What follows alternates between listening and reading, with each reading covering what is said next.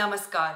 सामुदायिक अधिकारों और वन शासन से संबंधित इस कोर्स के तीसरे मॉड्यूल के छठे लेक्चर में आपका स्वागत है। वन भूमि का किस प्रकार से इस्तेमाल किया जाता है, इस बात को प्रभावित करने के लिए समुदायों के लिए कानून में शामिल सभी पहलुओं पर विचार करने के बाद हमने कुछ ऐसे कौशल और व्यवहारों को सीखा है, जिनसे इन मुद्दों पर समुदायों के हितों की संरक्षा करने और उन्हें आगे बढ़ाने के लिए समुदाय लीडर्स को सहायता मिल सकती है। इस लेक्चर में हम एक ऐसे मामले में नजदीकी रूप से विचार करेंगे, जिसमें उन कुछ पहलुओं को स्पष्ट किया गया है, जिन्हें हमने इस पाठ्यक्रम में सीखा है। इस पाठ्यक्रम के पहले लेक्चर में हमने यह देखा कि संरक्षण के संबंध में संरक्षित क्षेत्र प्रणाली द्वारा बनाए गए मूल, यानी प्रिस्टीन द्वीपों की आलोचना की गई है, क्योंकि इससे न केवल इसके बाहर के क्षेत्रों में मानव गतिविधियों में वृद्धि होती है, बल्कि इसके कारण उन क्षेत्रों में रहने वालों को भी भारी लागत अदा करनी पड़ती है। जैसा कि हम सीख चुके हैं, वनों में संरक्षण के लिए अदूषित स्थानों के सृजन से संबंधित कानूनों और प्रक्रियाओं का वनाधिकार अधिनियम के अंतर्गत वन में रहने वाले समुदायों के अधिकारों के साथ संघर्ष होता है। इन अधिकारों में लघु वन उत्पादों पर उनके स्वामित्व का अधिकार तथा वन्य जीवों वनों और जैव विविधता की संरक्षण करने के लिए उनकी शक्तियाँ और कर्तव्य शामिल हैं। इसलिए लोग आपसे अक्सर ये पूछते हैं कि क्या समुदाय द्वारा अपने वनों के प्रबंधन की सोच एक झूठी बात है? संभावित रूप से विगत काल में उन्होंने कभी उनका प्रबंधन किया ही नहीं। और सुनिश्चित रूप से आज के बदलते समय में, जो कि 150 वर्ष के बाद है अंग्रेज़ों के शासन के बाद और वर्तमान में देश के आर्थिक और सामाजिक परिदृश्य में इतना अधिक परिवर्तन हो गया है। फिर चाहे वह जनसंख्या का विकास हो, लोगों द्वारा वन आधारित आजीविकाओं और यहाँ तक कि कृषि आधारित आजीविकाओं को छोड़कर दूसरे प्रकार की गतिविधियों का करना हो, ये सभी शामिल है। क्या ये वास्तव में अर्थपूर्ण है कि समुदायों द्वारा अपने स्वयं के वनों का प्रबंधन किया जाए? क्यों ना इस विषय पर बात की जाए? इस वीडियो में जिस उदाहरण पर हम नज़दीकी रूप से विचार करेंगे, वह सीतानाड़ी और उदंती टाइगर रिज़र्व से संबंधित है। यह छत्तीसगढ़ राज्य में एक दूसरे के साथ जुड़े दो वन क्षेत्र हैं, जहाँ पर हम वनवासियों के अधिकारों और वन्यजीव संरक्षण कानूनों के माध्यम से उन अधिकारों के इस्तेमाल पर लागू प्रतिबंधों के बीच में स्पष्ट रूप से संघर्ष को देख सकते हैं। क्योंकि सीता नदी सत्रह गाँव है और उदंती चौंतीस गाँव है। इसी प्रकार, यदि पूरे, छोटा सा छत्तीसगढ़ में देखेंगे तो ग्यारह राष्ट्र, ग्यारह सेंचुरी और तीन राष्ट्रीय वन उद्यान है। और इस क्षेत्र को, यदि आप समझेंगे, इस क्षेत्र में आदिवासी का बहुत गरीब तबका, चाहे अति विशिष्ट जनजाति, कमार, बैगा, अबुझमाड़िया या आप पहाड़ी कोरबा, ये जितने जो जनजाति हैं, उसी क्षेत्र में निवासरत हैं। मेरे गाँव उदंती सीता नदी का जो टाइगर रिज़र्व के अंतर्गत बीचों बीच बसा हुआ है, और जो हमारे जो क्षेत्र में वर्ष 1980 से पहले लोग बाग बहुत अच्छा से शांतपूर्ण जीवन यापन करते थे जंगल में लघु वनोपज दोहन करते हैं। महुल पत्ता है, तेंदु पत्ता है, आंवला, बेहड़ा, चार चिरौंजी, भूई, लीम, कई अन्य ऐसे जंगली औषधियाँ हैं और कंदमूल का उपयोग करके अपने जो पूर्वज में अपने परिवार का भरण पोषण करते आ रहे थे। परंतु 1980 में माननीय हमारे छत्तीसगढ़ के प्रथम मुख्यमंत्री महोदय अजीत जोगी जी ने रायपुर ज़िले का कलेक्टर था तो उसने हमारे साहिबिन कछार में 60 लोगों का पट्टा बांटने गया था 1980 में, जिसमें 1980 में 60 लोगों को पट्टा वितरण किया अपने ग्राम पंचायत साहिबिन कछार में, और उसी दरमियान में वहाँ पर जंगली भैंसा जंगली भैंसा कोई घायल अवस्था में एक नाले में गिरा हुआ था। तो उनको फॉरेस्ट के जो कर्मचारी ने कलेक्टर साहब को बोले कि सर, वहाँ पर एक जंगली भैंसा गिर चुका है उनके लिए कुछ उपाय बताइए। तो पहले उन लोग ऐसी जंगली भैंसा को देखने गए। देखने जाने के बाद अपने ही गाँव के लोग फायर वाचर रहते थे। अभी भी हैं, वर्तमान में भी पहले भी फायर वाचर जो है ना, अग्नि सुरक्षा के नाम से फॉरेस्ट वाले रखते थे। तो उन्हीं के दौरान में योगी साहब ने उस जगह को देखा कि यहाँ पर बहुत सारा वन भैंसा है तो यहाँ पर एक वन भैंसा के नाम से सेंचुरी बनाया जाए। तो 1980 में सेंचुरी के नाम पे जंगल का सुरक्षा के नाम से वन विभाग ने सेंचुरी घोषित कर दिया उस जगह पर। सेंचुरी घोषित करने के बाद भी वहाँ के जो लोगों को निस्तार के लिए जलऊ लकड़ी है, तेंदुपत्ता, आंवला, महुआ, ये सब चीज़ अच्छी अपन हिसाब से वनोपज का संग्रहण करके अपने के सामने के जो बाज़ार में बेचते थे और ला करके अपने परिवार का भरण पोषण करते थे। ये पूरे चीज़ जो उन उन्नीस सौ सत्ताईस का वन कानून है या बाद में सौ अस्सी की बात करें, ये पूरे चीज़ है लोगों को जंगल विरोधी बना दिया। बने, जो 1927 का ब्रिटिश का कानून है, इसलिए तो वो केवल व्यापारी के दृष्टि और उन्नीस सौ में भी जो बना, वो लोगों को वहाँ से जंगल से दूर करने का ही जो सेंचुरी, नेशनल पार्क का जो सोच है, उसी तरह से बना। इसके चलते आदिवासी और जंगल के बीच में द्वंद्व पैदा कर दिया, और इसका मेन था वन विभाग। परंतु सेंचुरी को ख़त्म करके, सेंचुरी नाम को ख़त्म करके 2003 में टाइगर रिज़र्व बना करके वहाँ से लघु वनोपज, दोहन करना और गाँव स्तर में शादी ब्याह में हारना नहीं बजाना, यानी कि गाँव के अंदर में कोई भी आदमी को छः बजे से सवेरे छः शाम के छः बजे से सवेरे छः बजे तक के आना जाना में मना ही करना। इस प्रकार की वन विभाग के द्वारा उन्नीस 2003 से पूरा लघु वनोपज और वहाँ के जो वातावरण को सीधा शांति भंग की तरह नहीं होने दिया। यानी कि पहले जी अपने इच्छा से अनुसार में हमारे क्षेत्र के जो पब्लिक है, किसान है, खास करके तो विशेष रूप पर आदिवासी हैं।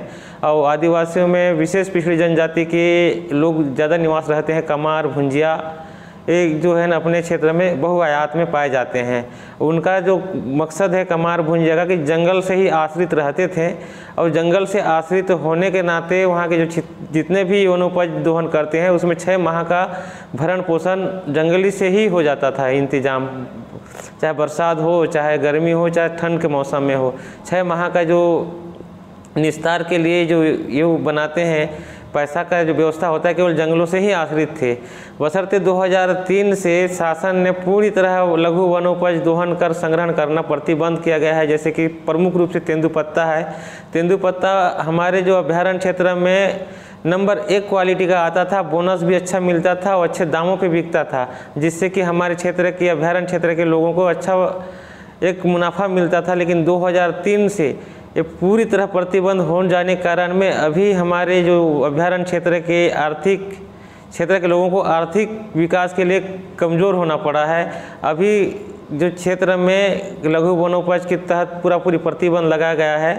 प्रतिबंधित होने के कारण में क्षेत्र के लोगों को मजदूरी करने में भी पैसा नहीं मिल पाता है। मगर इस बीच में मैं विशेषकर सीता नदी और उदंती क्षेत्र में काम किया।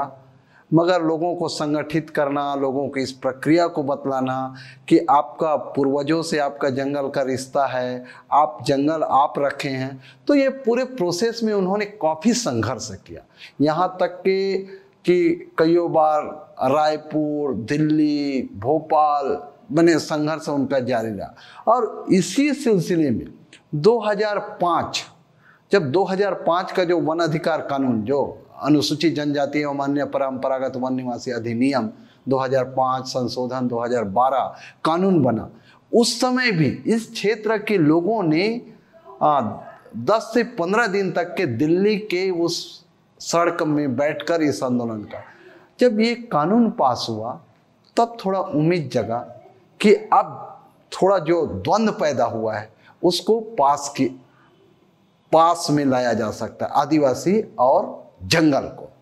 मगर जब इसमें, क्योंकि जो अभ्यारण्य और राष्ट्रीय राष्ट्रीय वन उद्यान या नेशनल पार्क में लोगों को उस क्षेत्र से विस्थापित करने की बात करता है। और हमारा जो एरिया जो है ना, कोर एरिया में बसा हुआ है। एक बफर एरिया बोलते हैं कोर एरिया बोलते हैं, टाइगर रिज़र्व के नाम से। तो जहाँ पर हमारा एरिया है, वो कोर एरिया है, सत्रह गाँव में, उदंती के अंदर में।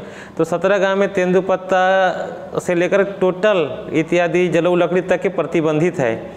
बसरते हम एक संगठन में जुड़े होने के नाते हमको थोड़ा सा अपने क्षेत्र में संस्था की ओर से कानून का बहुत बड़ा सुझाव दिया जाता है। और कानून का के दरमियान में हम अपने 2005 में जो वन अधिकार अधिनियम कानून जो बना 2005-6 में, संशोधन नियम 2012 में आए, उनके तहत में हम व्यक्तिगत अधिकार के लिए दावा फार्म में भरे थे। लगभग प्राय प्राय पचहत्तर से 80 परसेंट लोगों को व्यक्तिगत वन अधिकार पत्र प्राप्त हो चुका है। लेकिन वहाँ पर एफ़ कानून के तहत में हम अपने पुराना सरहद को बना करके सामुदायिक अधिकार, जैसे कि निस्तार के लिए, मछली पालन के लिए, गाय चराने चरावा के लिए, इत्यादि जगह को हम डेवलपमेंट करने के लिए प्रशासन को अपने जो जनपद स्तर पर हम एक फ़ाइल बना करके चार पाँच पंचायत के, जो गाँव के, अभी तक दिए हैं, लेकिन वो शासन तरफ़ से हमको टाइगर रिज़र्व होने कारण हमको सामुदायिक अधिकार से वंचित किया जा रहा है। अगर समुदाय अधिकार से अगर वंचित किया जा रहा है तो जिसके कारण हमारा जो क्षेत्र में ना मूलभूत सुविधा है, ना सड़क नहीं बन पा रही, ना बिजली नहीं है, ना कुछ अस्पताल नहीं, ना शिक्षा नहीं आज की परिस्थिति में, जिससे हमारे क्षेत्र में बहुत भयंकर समस्या पैदा हो चुका है। राष्ट्रीय वन उद्यान और नेशनल पार्क के नाम से जो सबसे गरीब तबका का आदिवासी है, वो यदि विस्थापित हो जाते हैं तो विस्थापन एक बड़ा खतरा यदि छोटा सा छत्तीसगढ़ को में भी देखोगे तो बहुत बड़े जनसंख्या को वहाँ से निकलना पड़ेगा। तो ये जो कानून, जो फॉरेस्ट राइट एक्ट में जो जगह दिया है, धारा तीन एक झा, जिसमें जंगल का प्रबंधन ग्राम सभा के माध्यम से, जो इस क्षेत्र में राष्ट्रीय वन उद्यान और नेशनल पार्क में भी ये काम किया जा सकता जो आदिवासी और जंगल को पास में लाता है। फिर यदि आप देखेंगे, धारा तीन एक गा, जो इस क्षेत्र में वन उपज संग्रहण करने के लिए जो प्रतिबंध 2003 से लगा है। छत्तीसगढ़ में मैं देखता हूँ, सीता नदी उदंती में काम किया। 2003 से वहाँ तेंदु पत्ता तोड़ना, मोहलाई पत्ता इकट्ठा करना महुआ बिनना, जो भी वन उपज संग्रहण कर 2003 से पूर्ण रूप से प्रतिबंधित है। आज यदि आप साढ़े चार सौ रुपया प्रति सैकड़ा तेंदुपत्ता का है। मगर वहाँ के जो सत्रह गाँव हैं या सीता नदी के चौंतीस गाँव हैं, वहाँ तेंदुपत्ता संग्रहण नहीं कर पा रहा है। वो जो, जिसका रिश्ता जंगल से था, जिनका आजीविका जंगल से था, वो खत्म हो गया कमज़ोर पहलू ये हो रहा है कि जैसे कि वन विभाग को हमारे क्षेत्र में पूरा जंगल को सौंप दिया था, जिसमें कि वन को सुरक्षा करने के लिए हज़ारों करोड़ों रुपया विश्व बैंक से आते थे। पहले फॉरेस्ट वाले गाँव में वन प्रबंधन समिति के माध्यम से इको टूरिज़्म का एक योजना ला करके किसी को दस हज़ार, किसी को पाँच हज़ार, किसी को सात हज़ार रुपये, किसी को बैल जोड़ी के लिए, किसी को बकरी पालन के लिए, किसी को किराना दुकान के लिए रोज़गार के अवसर के लिए प्रयास किया गया था। लेकिन उसमें फॉरेस्ट के, फॉरेस्ट वाले को और जो गाँव के लोगों के साथ में तालमेल को, तालमेल नहीं बनने कारण तालमेल के मतलब वो है कि जंगल जो है ना, गाँव का है। जंगल हमारा है और फॉरेस्ट वाले उसका वहाँ वही लूटते हैं। और उसमें ना फॉरेस्ट वाले से ज़्यादा जंगल को गाँव वाले ही रक्षा कर रहे हैं अभी तक भी। अब फॉरेस्ट के किसी कर्मचारी को कोई भी ना लकड़ी तस्कर नहीं डरते, ना कोई अतिक्रमण करने वाले नहीं डरते, केवल गाँव वाले को ही डरते हैं, ताकि गाँव वाले को ये होता है कि अपने क्षेत्र के जंगल में कोई बाहरी आदमी आके ना अवैध शिकार न करें, ना अवैध रूप से जंगल को पर अतिक्रमण न करें, और उसको सुरक्षित ढंग से बचाए। मगर यदि प्रबंधन की बात है वन उपज संग्रहण की बात है ये यदि वन अधिकार कानून में मिल मिल जाता है उस ग्राम सभा को सामुदायिक अधिकार करने के बाद यदि मिल जाता है तो प्रबंधन का भी अच्छा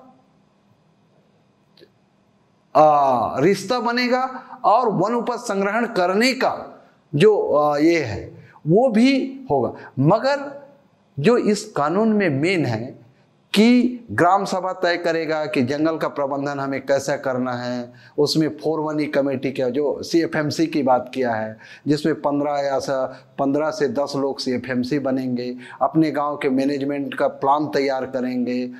ये सारा चीज़ इस कानून में जो दिया है, जो वन कानून में, वन कानून में आदिवासी और जंगल का द्वंद्व पैदा किया था, उसको यदि हम एफ़ के तहत पास में ला सकते हैं, लोगों का रिश्ता और बढ़ा सकते हैं और जंगल में लोगों की भागीदारी जो, आज जो जलवायु परिवर्तन है या जो विस्थापन का जो मामला है, उसका यही एक रास्ता है कि जब तक समाज को, ग्राम सभा को आप उसमें भागीदारी नहीं ला सकते हैं, तब तक आप न जंगल बचा पाएँगे, न जलवायु परिवर्तन जैसे समस्या से हाँ लड़ पाएँगे, क्योंकि जलवायु परिवर्तन में आपको काम करना है या उसमें जो हो रहा है उसके रोकना, इसका भी मार सबसे पहले उसी आदिवासी को पड़ेगा, जो कम तबका का है।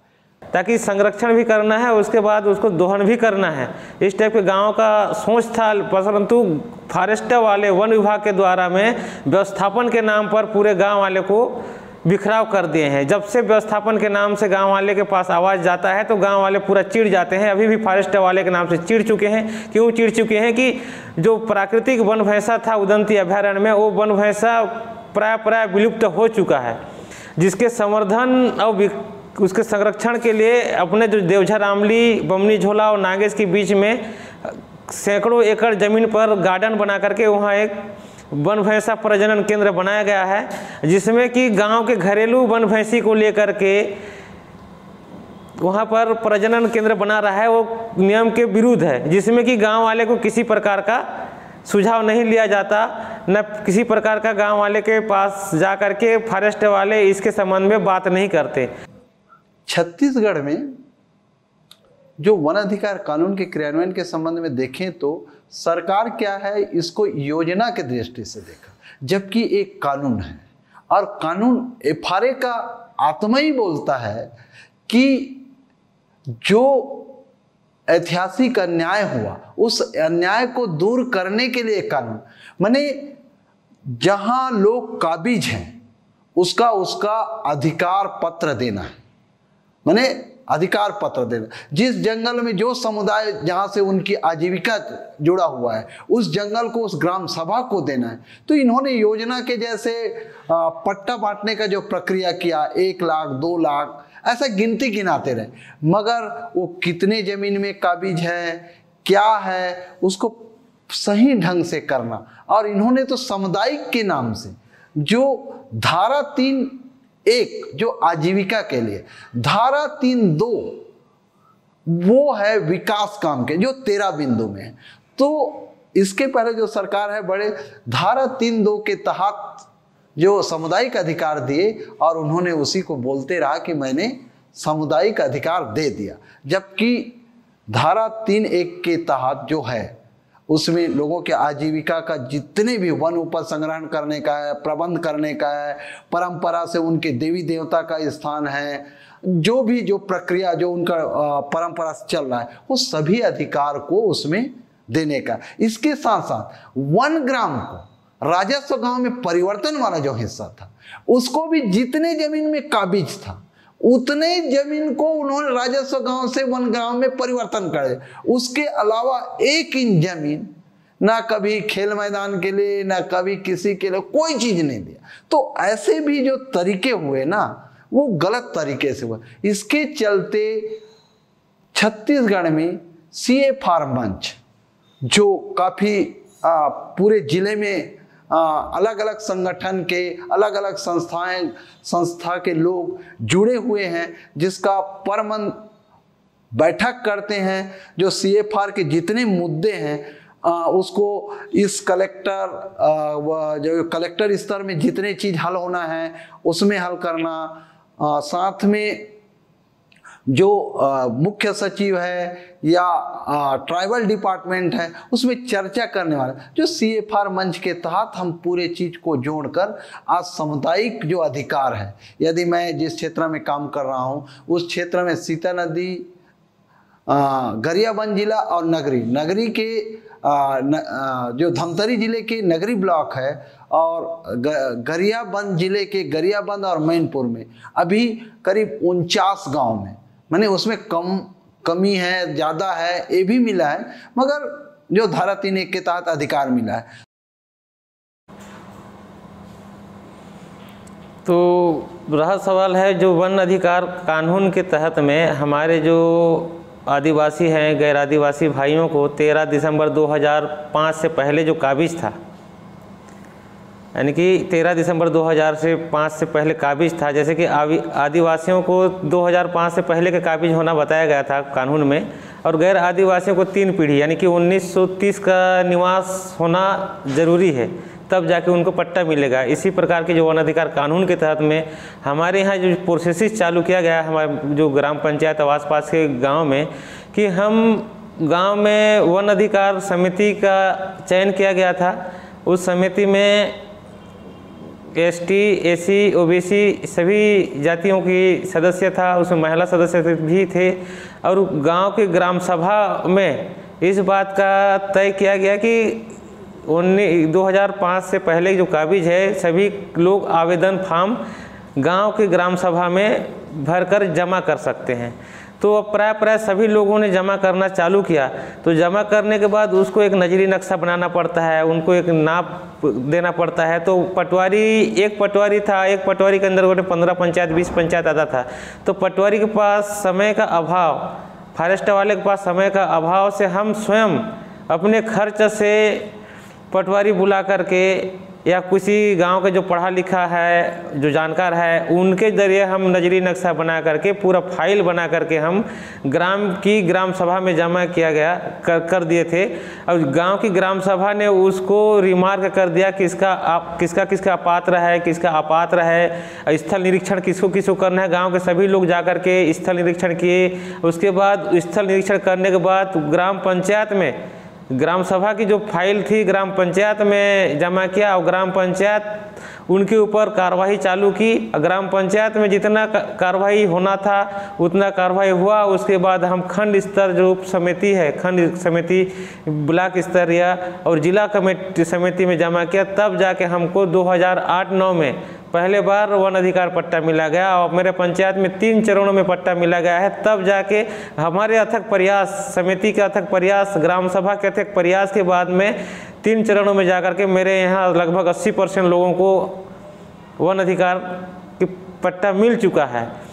और समय समय पर इनके संबंध में, क्योंकि फॉरेस्ट विलेज है अपने क्षेत्र में, फॉरेस्ट विलेज में ना फॉरेस्ट वाले ध्यान नहीं दे रहे थे तो हम अपने स्तर पे आंदोलन शुरू किया, रोड पे चक्का जाम करना चालू किया, उसके बाद कलेक्टर को आवेदन देना पड़ा, एसडीएम को आवेदन पड़ा, देना पड़ा, फिर डीएफओ को आवेदन देना पड़ा। बार बार ऑफ़िस का चक्कर लगाते लगाते ही अपना जो काम हुआ है, आसानी से हमको वन अधिकार जो पत्र है, नहीं मिल पाया है। इसमें संघर्ष करना पड़ा, तब जाके हमको मिला है। अभी भी हमारे जो कोर एरिया में जितने भी एफआईआर के तहत में सामुदायिक अधिकार बचा हुआ है, इसके लिए हम आगे भी कार्रवाई के लिए तैयार हैं। आगे भी हम इसको खंड स्तर समिति में जमा कर चुके हैं, लेकिन हमारे जो उस प्रकरण में आज पर्यंत पाँच छः साल बीत जाने के बावजूद भी उसके ऊपर कोई प्रशासन की ओर से ध्यान नहीं दिया जा रहा है। तो ये सी एफ़ आर मंच के साथ जोड़ना, पूरे राज्य के साथ जोड़ना और ये सबको जोड़ने का जो काम सी एफ़ आर मंच ने किया है। इस तरह से छत्तीसगढ़ में काम हुए हैं मगर आ, जो सरकार की जो नियत है व्यक्तिगत को लिए है वन विभाग का नियम है व्यक्तिगत देने के लिए है जबकि सामुदायिक अधिकार न सरकार देने के लिए सोचती थी न वन विभाग।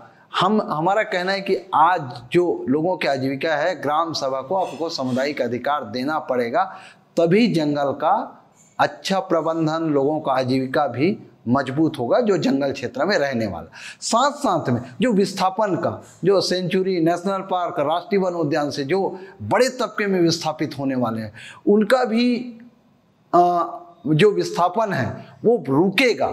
और लोगों की भागीदारी लोगों की मने रिश्ता जो आपने सत्तर साठ, सत्तर साल में आपने दूर किया, वो रिश्ता भी कायम होगा, जानवर भी रहेंगे, लोग भी रहेंगे और जंगल भी रहेंगे। हमारा सी एफ़ आर मंच का, हमारा यही मानना है।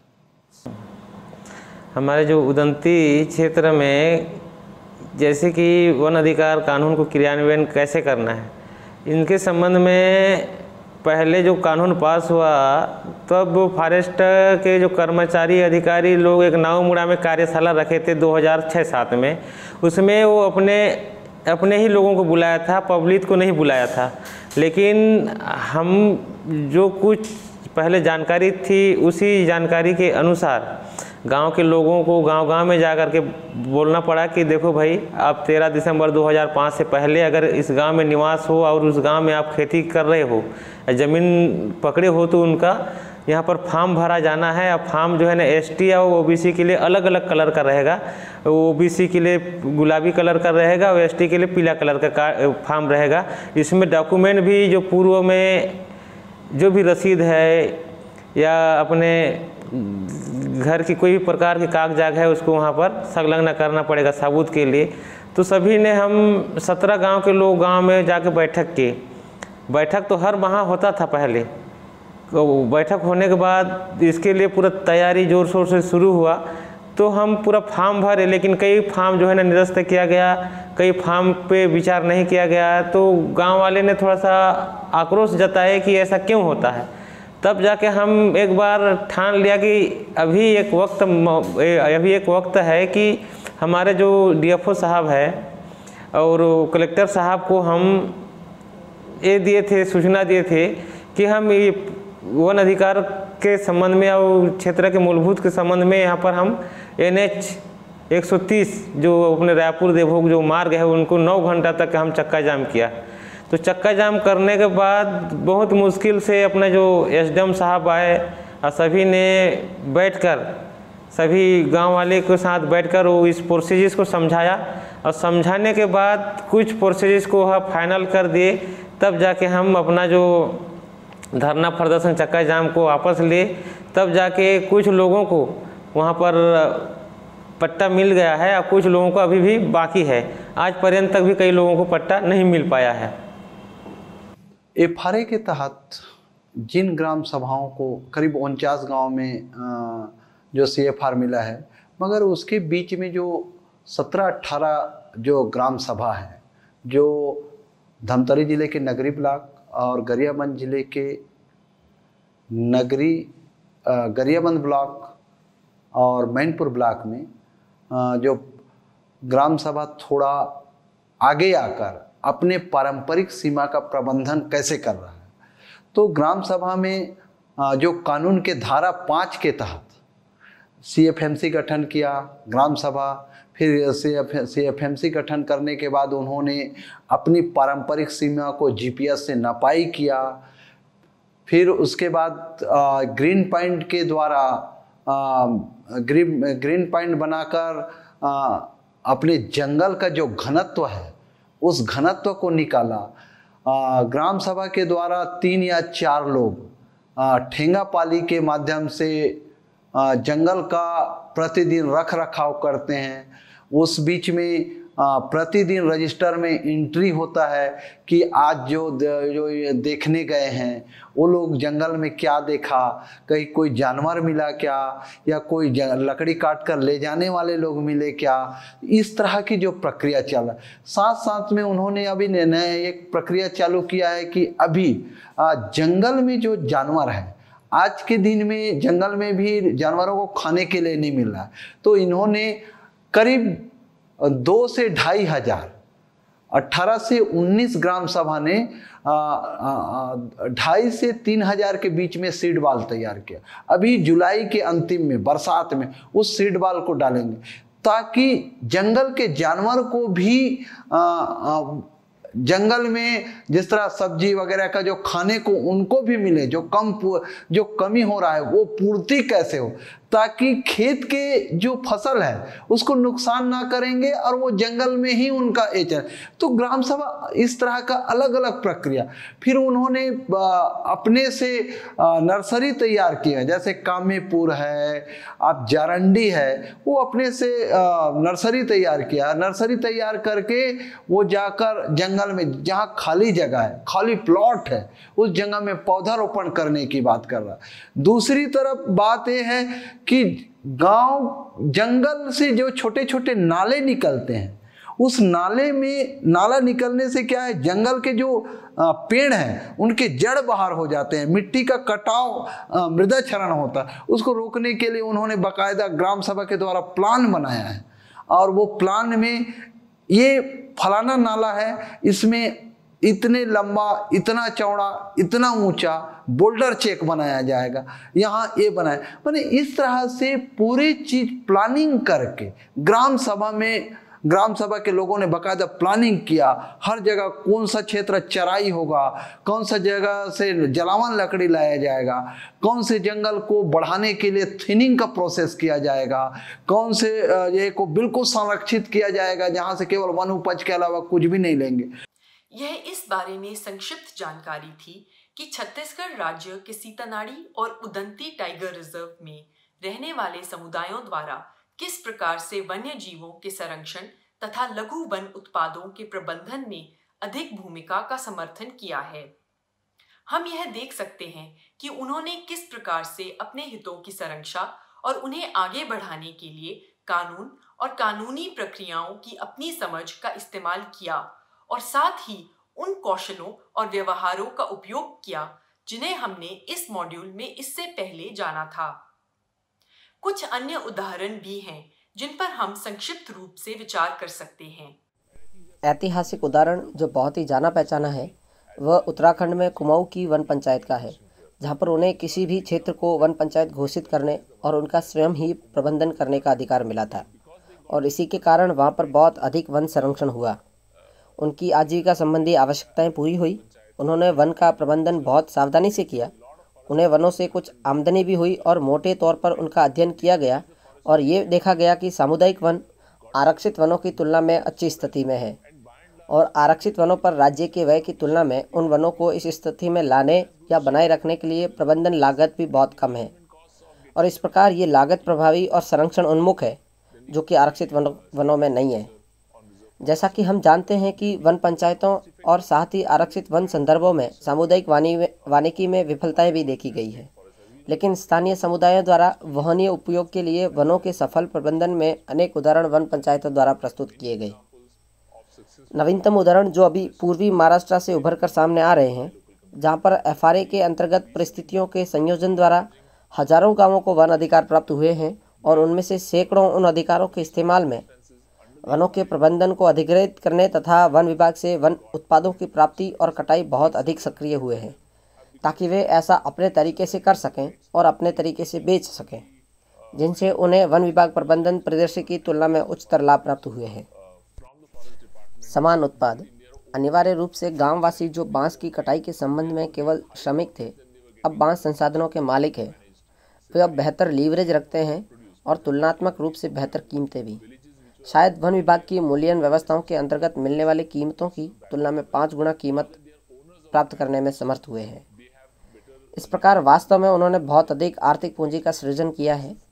उनमें से कुछ इसका बहुत ही विवेकपूर्ण रूप से इस्तेमाल कर रहे हैं। जैसे सामाजिक पूंजी का सृजन करना, अपने युवाओं को और अधिक वन उन्मुख गतिविधियों को करने के लिए प्रशिक्षित करना आदि जैसे कार्य कर रहे हैं। इस प्रकार आप देख सकते हैं कि एफआरए के अंतर्गत सामुदायिक वानिकी या सीएफआर प्रबंधन के अंतर्गत पूर्वी महाराष्ट्र से बहुत ही रुचिकर किस्म के प्रयोग उभर कर सामने आ रहे हैं। जिसमें पेशा के अंतर्गत उनके प्राप्त वन संवर्धन भी शामिल है और वे विभिन्न प्रकार की गतिविधियों की भी कोशिश कर रहे हैं। फेडरेशनों के भी उदाहरण है, जिसका गठन 80 ग्राम सभाओं को मिलाकर किया गया, ताकि तेंदुपत्ता की अधिक प्रभावी मार्केटिंग की जा सके और वे तेंदुपत्ता ठेकेदारों से बेहतर कीमत प्राप्त करने के लिए उनके साथ मोल भाव भी कर रहे हैं। हालाँकि ठेकेदार लॉबी द्वारा भी ज़ोर आजमाइश की जा रही है, लेकिन ये राजनीतिक अर्थव्यवस्था के मंथन की संपूर्ण प्रक्रिया है, क्योंकि समुदायों द्वारा अपने वन संसाधन का नियंत्रण करने का प्रयास किया जा रहा है। ऐसे भी उदाहरण हैं जहाँ पर बहुत ही अपक्षय हो चुके वनों को नरेगा से प्राप्त निधियों, जल विभा, विभाजन विकास से प्राप्त निधियों, पहले से ही मौजूद अन्य विभिन्न सरकारी कार्यक्रमों से प्राप्त निधियों का निवेश करके वनों को पुनर्जीवित किया गया है। और यह निवेश उनकी आवश्यकताओं को पूरी करने के लिए, वनों को पुनर्जीवित करने तथा पहले की तुलना में उन्हें अधिक उपजाऊ बनाने के लिए किया गया। इस प्रकार से आप महाराष्ट्र से आने वाले इस प्रकार के प्रयोगों और उदाहरणों को देख सकते हैं। साथ ही, इससे पहले उड़ीसा से अनौपचारिक सामुदायिक वानिकी के उदाहरण भी मौजूद रहे हैं, जहाँ पर समुदायों द्वारा वनों के अपक्ष के कारण जलाऊ लकड़ी और चरागाहों की बड़ी कमी का सामना किया और हज़ारों समुदायों द्वारा अपने छोटे छोटे वानिकी समूहों का गठन किया गया और उनके द्वारा अपने वन संसाधन की संरक्षणा और प्रबंधन का कार्य आरंभ किया।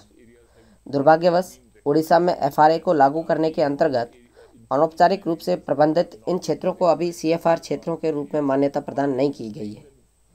इसका एक कारण यह भी है कि अनौपचारिक रूप से प्रबंधित व्यवस्थाओं में से अधिकांश आदिवासियों और गैर आदिवासियों के मिश्रित समुदायों के बीच में विकसित हुए हैं। और किसी न किसी कारण से उड़ीसा में एफ़ प्रबंधन अभी भी इस विचार से बाधित है कि दावों को केवल आदिवासियों को ही और फिर वह भी विशुद्ध आदिवासी गाँव में अनुमत किया जा सकता है। ये एफ़ का गलत अर्थ निकालना है, लेकिन फिर भी इन सामुदायिक वनों में से अधिकांश हिस्सा अभी भी एफ़ के कार्य क्षेत्र से बाहर है। आशा है कि अंततः इनको शामिल कर लिया जाएगा और हम उड़ीसा तथा मध्य भारत के अन्य हिस्सों में सामुदायिक वानिकी प्रबंधन का नाटकीय विस्तार देख पाएँगे। जहाँ पर समुदाय बहुत अधिक वनों पर निर्भर रहते हैं। परंपरागत रूप से उनके द्वारा वनों का इस्तेमाल किया गया है और संभावित रूप से वनों का प्रबंधन कर सकते हैं, जैसा कि वन पंचायतों द्वारा दर्शाया गया है। गढ़चिरौली और महाराष्ट्र के अन्य हिस्सों में प्रदर्शित किया गया और उड़ीसा के सामुदायिक वन समूह द्वारा दर्शाया गया है। इसी के साथ यह वीडियो समाप्त होता है, जिसमें हमने संरक्षण कानूनों और वनवासियों के अधिकारों के बीच में संघर्ष के बारे में इस पाठ्यक्रम में सीखी गई कुछ बातों को व्यवहारिक रूप से लागू होते हुए देखा है। हम यह देखने में सक्षम हुए कि किस प्रकार से समुदायों द्वारा सीतानाड़ी उदंती क्षेत्र में कुछ महत्वपूर्ण कौशलों का इस्तेमाल संभव हो पाया और साथ ही हमने इस पाठ्यक्रम में इससे पहले सीखे गए कुछ कानूनों को उनके द्वारा लागू किया जाना भी देखा। इसे देखने के लिए आपका धन्यवाद।